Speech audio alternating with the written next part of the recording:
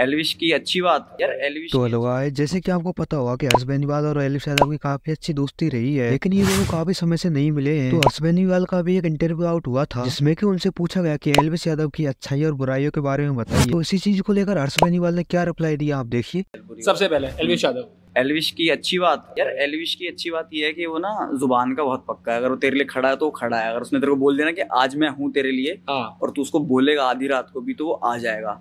और वो इतनी गाड़ियाँ लेके आएगा इतने बंदे लेके आएगा कि वो तेरे को पता ही है यार ये अच्छी बात है। No और. बुरी बात ये है कि वो अभी बिग बॉस के बाद बहुत बिज़ी हो गया मिल नहीं पा रहा। ओ भाई तो साहब। ये बुरी बात नहीं कहूँगा हाँ मान सकता हूँ कि बिज़ी है हाँ हाँ क्योंकि हम बिग बॉस से एक ही दो बार मिले हैं और उसको मैं कहता हूँ कि मिल हम्म। पर वो उस भाई को टाइम नहीं मिल रहा। ऑब्वियसली यार बहुत बिज़ी है शोज़ वगैरह कर रहा है बाकी भी कर रहा है एक शो और कर रहा है वो। हाँ हाँ। तो फ़िलहाल मुझे ये बात बुरी लग रही है उसकी। तो ये है।